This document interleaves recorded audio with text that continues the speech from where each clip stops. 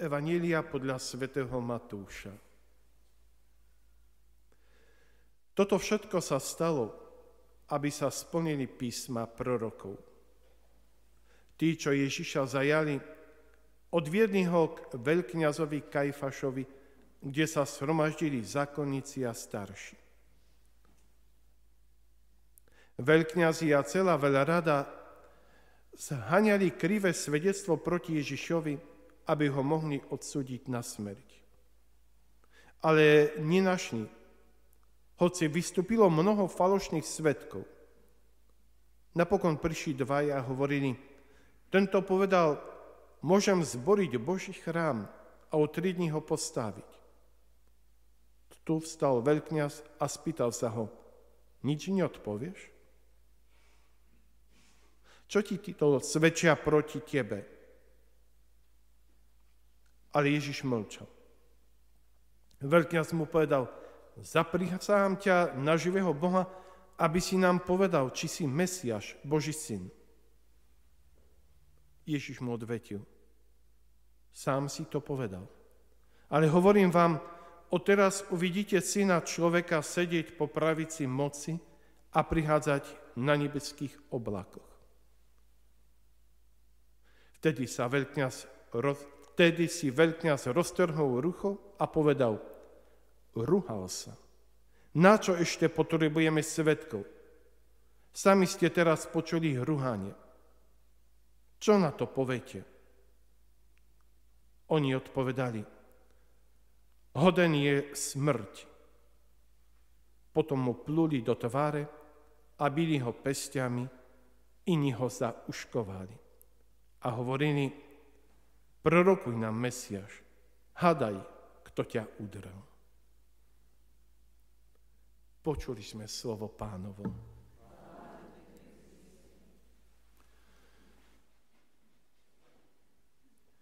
Sestri a bratia,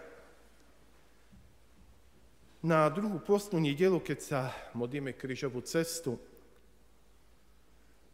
chceme byť s pánom Ježišom keď stojí pred svojimi sudcami. Tí, ktorí zajali pana Ježiša v Getsemani, ho najprv odviedli k Annašovi, ktorý bol svokrom Kajfaša a ktorý vtedy zastával úrad veľkňaza. Anáš potom poslal pána Ježiša k veľkňazovi Kajfašovi. Tieto dve postavy židovských hodnostárov ktorí nosili titul veľkňaza, zohrali v Ježišovom prípade dôležitú úlohu. Najvyššia rada, Sanhedrin, v čase Krista bol najvyššou židovskou náboženskou a súdnou autoritou. Pozastával zo 70 členov, ktorými boli starší, to to znamená zastupcovia mocných rodov, ďalej zákonníci, najmä farizei a samotný veľkňaz, ktorý stal na čele tejto najvyššej rády. A tiež jeho predchodcovia v tomto úrade. Keď sa Palestína stala provinciou Rímskej ríše, rozsudky smrti vyniesené Sanhedrinom musel schváliť rímsky prokurátor. V prípade pána Ježiša to neskôr urobil Pilát. Pozorné čítanie evaníliových pasáží, ktoré nám hovorí o vypočúvaní pána Ježiša pred židovskými autoritami, Ukazuje, že najprv sa konalo nočné vypočúvanie, ktoré nebolo formálnym shromaždením Najvyššej rády, ale len vypočúvaním niektorými vplyvnými členmi rády. Skutočné zasadnutie Sanhedrínu sa konalo ráno. Zo správ evangelistov Matúša a Marka je tiež zrejme, že medzi nočným a ranným zasadnutím skutočného výsluhu sa pánu Ježišovi posmievali, zauškovali ho a byli pestiami. Robili to tí, ktorí ho v tú noc strážili.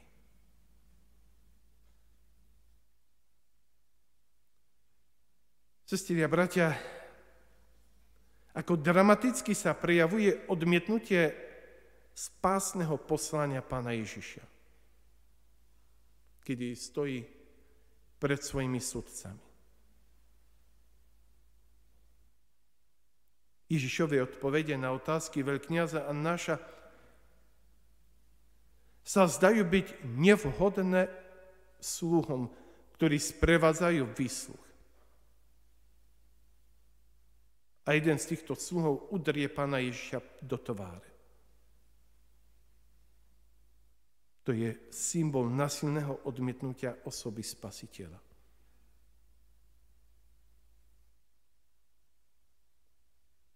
Počas toho raneného vysluhu najvyššou radou pada proti Ježišovi mnoho obvinení. Vypovedajú falošní svetkovia. Pán Ježiš však na žiadne z týchto obvinení, ktoré, sa mu pred, ktoré sú mu predkladané, nereaguje ani slovom. pretože vedel, že vypočúvajúcim nejde o poctivé hľadanie pravdy, ale robia všetko preto, aby ho zabili. Veľkňaz, zmetený týmto dôstojným mlčaním pána Ježiša, priamo sa ho pýta – si Mesiaš? Si syn Boha živého? Až vtedy sa Ježiš ozve a dá kladnú odpoveď. On je Mesiaš. Syn živého Boha. Táto odpoveď pána Ježiša je jedným z najjasnejších dôkazov jeho božského povedomia. Je jasné, že otázka veľkňaza bola provokáciou.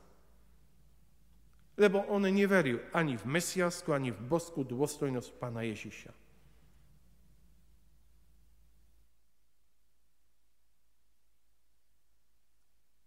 veľkňaz a Židia, napriek svojej zaslepenosti správne pochopili Ježišovu odpoveď. Ale považovali ju za rúhanie,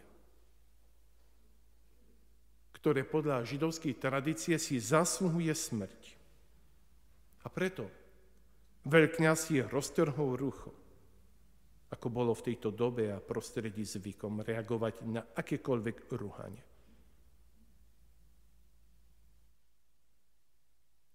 Teraz už len chybalo, aby rozsudok Najvyššej rady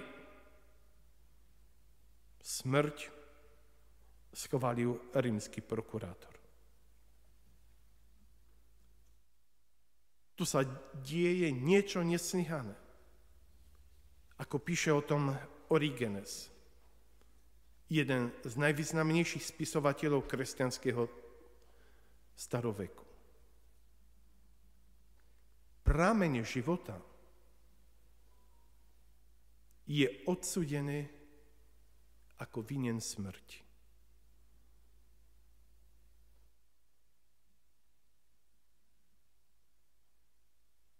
Sestri a bratia, keď uvažujeme o Pánu Ježišovi, ktorý bol nespravodlivo odsudený na smrť, nezabudajme aj na to, že aj dnes je náš Pán, žijúci vo svojich nasledovateľoch po celom svete, podobne súdený. Polský kňaz mučeník Blahoslavený otec Ježi Popievuško, ktorý tiež veľa vytrpel falošnými obvineniami a opakovanými vysluchmi, povedal Aj dnes sa uskutočňuje Kristov súd. Priebeha Kristov súd v jeho bratov.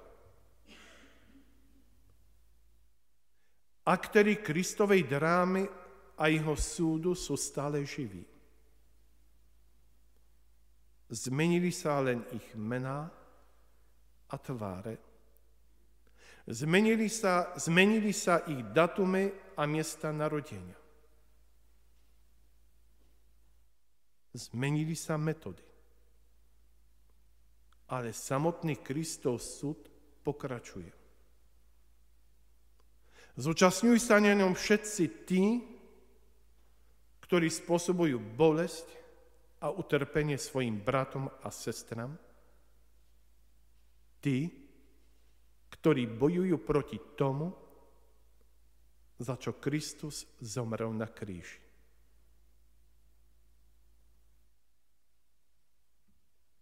Sestri a bratia, Kresťanstvo je dnes najprenasledovanejším naboženstvom na svete.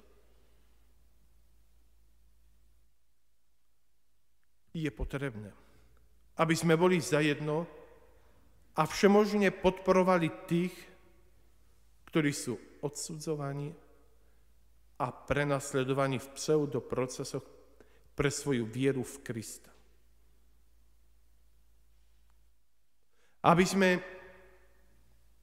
boli solidárni s tými, ktorí sú prenasledovaní v niektorých islamských krajinách na Blízkom alebo v ďalekom východe. Počas oslav Veľkého jubilea 2000 sa 7. maja konala nezvyčajná ekumenická bohoslúžba. Spomienka na svetkov viery. Konala sa v rímskom koloseu a pripomínala časy krvavého pre, prenasledovania za vieru prvých kresťanov.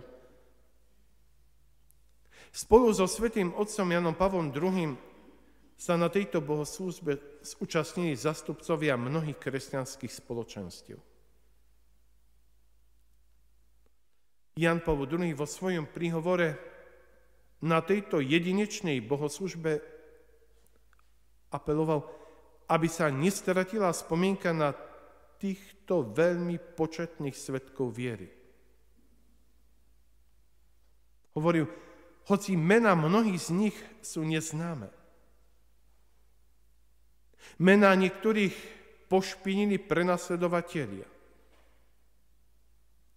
Mena ešte iných vymazali vrahovia. Tí, na ktorých si dnes s vďačnosťou a úctou spomíname, povedal papež, tvoria akoby veľkú fresku, predstavujúcu evanílium blahoslavenstiev hlboko prežívané až po preliatie krvi.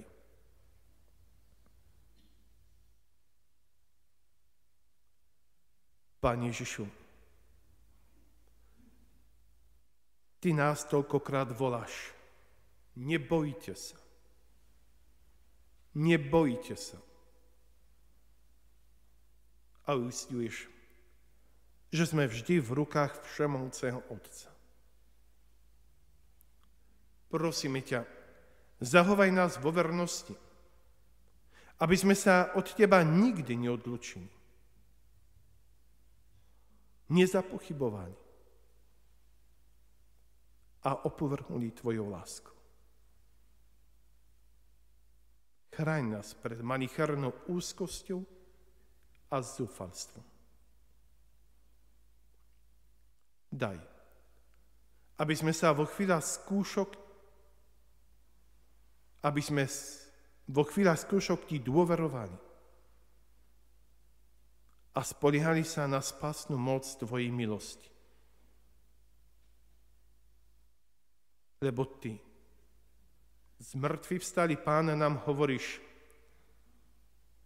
vo svete budete mať súženie. Ale majte odvahu. Ja som zvyťazil svet. Amen.